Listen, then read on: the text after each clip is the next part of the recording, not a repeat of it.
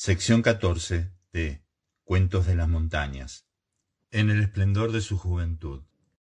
Detenido en la mitad de la carrera, cuando ya estaba el triunfo conseguido, ved cómo la ha cortado y ha perdido el premio que anhelante persiguiera.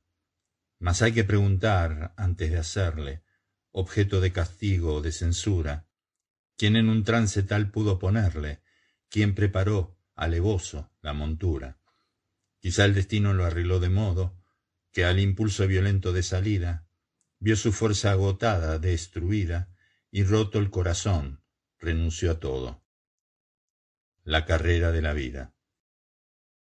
Cuando referí la broma que el gusano dio al subalterno, prometí un cuento algo parecido a aquel, pero en el cual toda burla quedaría descartada. El cuento es este. Ricardito Hat fue seducido en su más tierna juventud no por la hija de una patrona, ni por una doncella, ni por una camarera de café, ni por una cocinera, sino por una joven tan de su misma clase, que sólo una mujer podría haber dicho que la muchacha era algo inferior a él. Esto le sucedió un mes antes de salir para la India y cinco días después de haber cumplido los veintiún años. La joven tenía diecinueve primaveras, por lo que puede afirmarse que era seis años más vieja que él en las cosas de este mundo y en aquella ocasión dos veces más loca. Si se exceptúa el hecho de caerse de un caballo, no hay nada más fatalmente fácil que casarse civilmente. La operación cuesta menos de cincuenta chelines y es tan notable como una visita a la casa de empeños. Una vez hecha la declaración de residencia, bastan cuatro minutos para poner fin a la ceremonia, incluyendo identificaciones, derechos, todo. Después el oficial del registro pasa el rodete de papel secante sobre los nombres y poniéndose la pluma entre los dientes dice con aspereza Ea, ya sois marido y mujer. Y la pareja sale a la calle pensando que algo horriblemente ilegal acaba de hacerse en alguna parte. Pero aquella ceremonia vale y puede conducirle a uno a la ruina lo mismo que el maldito mientras viváis, dicho al pie del altar, con las amigas de la novia cuchicheando por detrás de ella y los ecos del himno nupcial. La santa voz que truena en las alturas, haciendo saltar el techo. Por modo tan sencillo fue Ricardito secuestrado y halló la cosa muy bella porque había recibido una credencial para la India, con magnífico sueldo, según opinaban en Inglaterra. El matrimonio debía tenerse en secreto durante un año, Pasado este, la señora Hutt marcharía a reunirse con su marido y todo el resto de la vida sería para ellos esplendoroso como una nube de oro. Tal era el porvenir que ambos trazaban bajo las lámparas de la estación Addison Road, y al finalizar un mes que les pareció muy corto, partieron para Gravesend, donde Ricardito se embarcó en demanda de una nueva vida, mientras ella se quedaba llorando en un cuarto de treinta chelines por semana, situado en una callejuela cerca de la plaza de Montpellier, e inmediata a los cuarteles de Knightsbridge.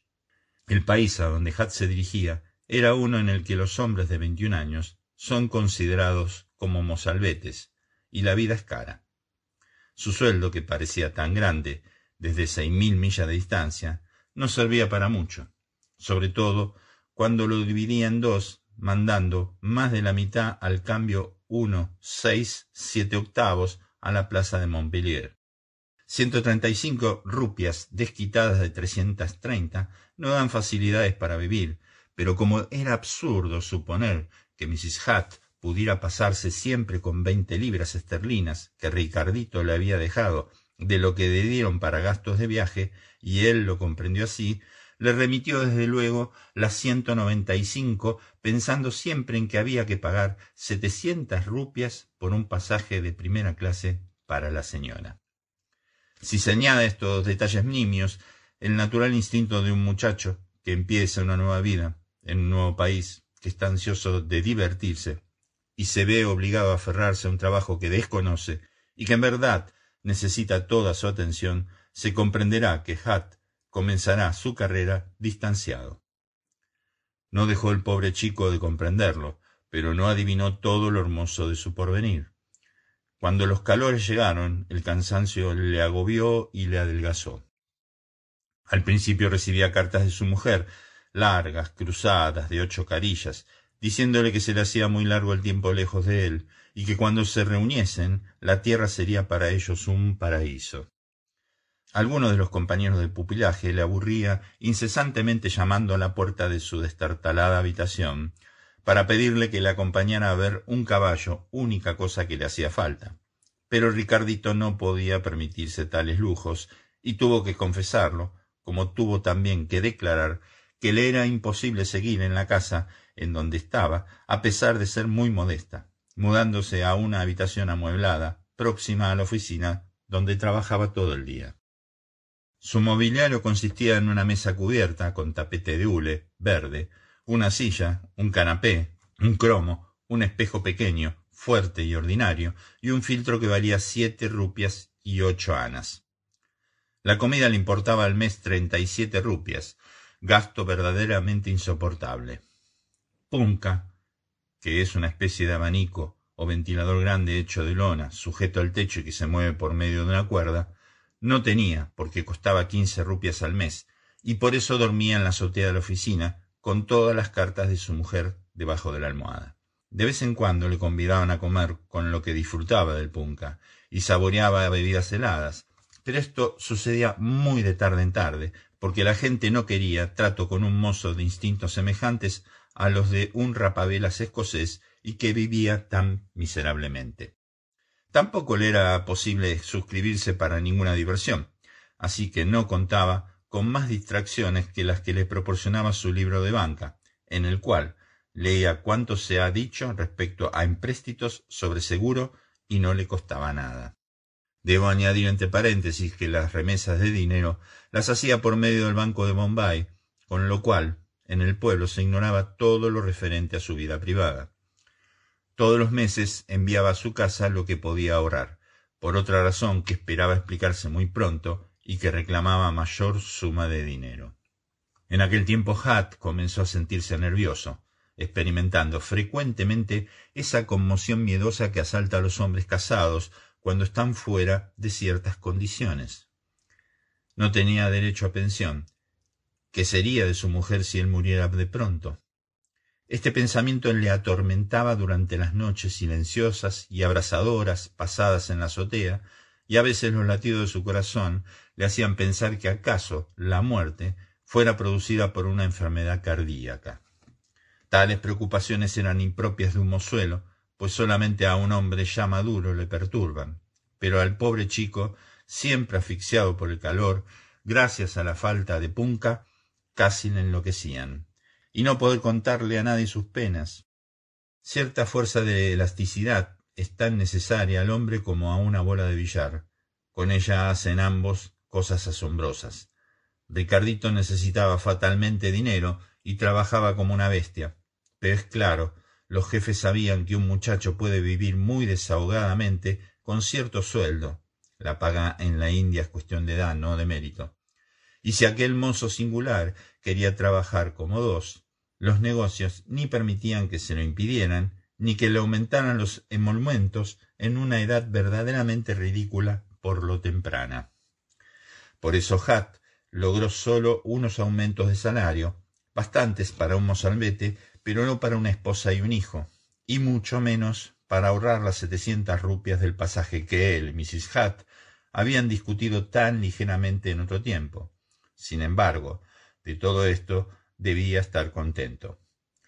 El dinero parecía que se iba desvaneciendo entre las letras mandadas a su casa y lo aplastante del cambio, y las cartas que recibía cambiaron volviéndose ásperas. ¿Por qué no se llevaba a la mujer y al hijo? Seguramente tenía un sueldo hermoso y procedía muy mal gastándoselo alegremente en la India. Querría, podría hacer la próxima letra un poco más elástica. A esto seguía una lista de lo que necesitaba el pequeñuelo, tan larga como una cuenta persa. En vista de esto, Ricardito, cuyo corazón suspiraba por la mujer y el hijo que no conocía, sentimientos algo raros en un muchacho, giraba mayor cantidad y escribía unas cartas extrañas, ni propias de un mozuelo, ni de un hombre, diciendo que, en medio de todo, la vida no era divertida, y rogando que tuvieran un poco de paciencia la madre y el niño. La mujercita aprobaba el aumento del envío, hacía observaciones respecto a la necesidad de esperar y usaban las respuestas unos giros extraños y duros que él no comprendía. Pobre chico.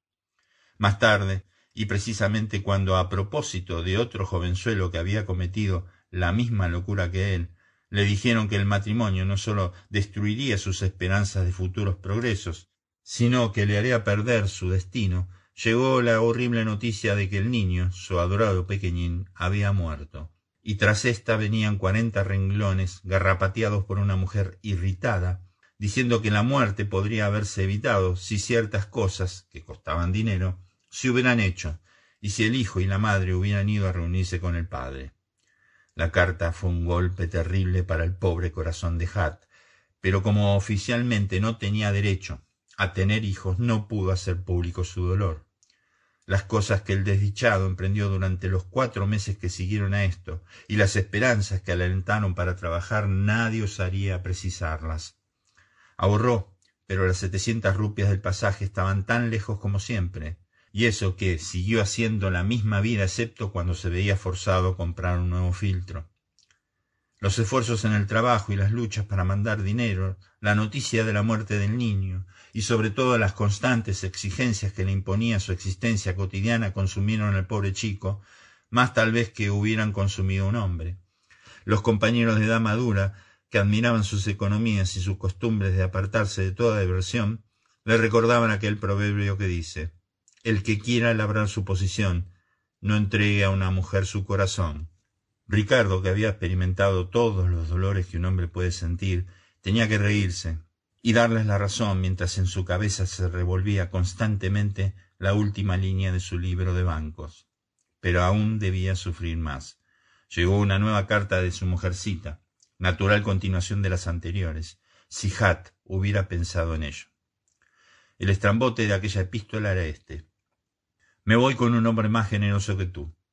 El documento no podía ser más curioso. Sin circunquiloquios, decía lo siguiente, que ella no iba a estar esperando siempre, que el niño había muerto, que él era otro niño, que no volvería a verla más, que por qué no había agitado el pañuelo cuando se separaron en Gravesend, que Dios la juzgaría, que ella era mala, pero él era peor divirtiéndose en la India, que aquel otro hombre adoraba el terreno que ella pisaba, que ni él la perdonaría ni ella le perdonaba. Y aquí daba fin la cartita que no tenía indicación alguna para poder contestarla. En vez de bendecir su estrella porque estaba libre, Ricardito sintió todas las impresiones de un marido ultrajado, cosas impropias de un niño, y volviendo la vista a lo pasado, vio a su mujer con el traje de treinta chelines en la plaza Montpellier, recordó el alborear de la última mañana que pasara en Inglaterra, cuando ella estaba llorando en el lecho, y dio vueltas en su cama y se mordió las manos sin pararse ni por un momento a pensar, el desdichado, que si hubiera vuelto a ver a Mrs. Hutt después de aquellos dos años, habría descubierto que ella y él habían crecido de un modo tan distinto que eran en realidad personas completamente incompatibles. Teóricamente esto era lo que debía ser, pero aquella noche la pasó en medio de la pena más horrible. A la mañana siguiente experimentó repugnancia hacia el trabajo y comenzó a pensar que había desdeñado los placeres de su juventud. Se sentía cansado, había gustado todas las amarguras de la vida antes de cumplir veintitrés años y estaba deshonrado. Aquí pensaba el hombre. Él también se iría, con el demonio. Aquí enjuiciaba al niño. Inclinó la cabeza sobre el tapete verde de su mesa y antes de renunciar al destino y todo lo que éste prometía, lloró. En tales circunstancias la recompensa debida a su servicio llegó y se le dieron tres días para reflexionar. El jefe de la casa, después de cruzarse algunos telegramas, dijo que aunque aquello no se hacía jamás, teniendo en cuenta la habilidad que Mr. Hutt había desplegado en tal y tal tiempo y en tal y cual ocasión, podía ofrecerle un puesto infinitamente mejor, primero como interino y luego en un orden regular de cosas como definitivo. ¿Y cuánto ganaré? preguntó Hat. Seiscientas cincuenta rupias, contestó el jefe marcando las palabras y esperando que el joven, al oírlas, se quedaría anonadado de gratitud y alegría. Ah, cuándo llegaban las setecientas rupias del pasaje, lo bastante para salvar a la mujer y al niño y permitirle hacer público su matrimonio. Todo llegaba entonces. Ricardito lanzó una carcajada salvaje que no pudo dominar, lúgubre, turbulenta, explosión de alegría que pareció que iba a matarle. Cuando logró dominarse dijo secamente Estoy cansado de trabajar. Ya soy viejo. Es tiempo de que me retire. Y me retiro. Este chico está loco, murmuró el jefe. Creo que tenía razón, pero como Ricardo no volvió jamás, la duda sigue en pie. Fin de la sección 14.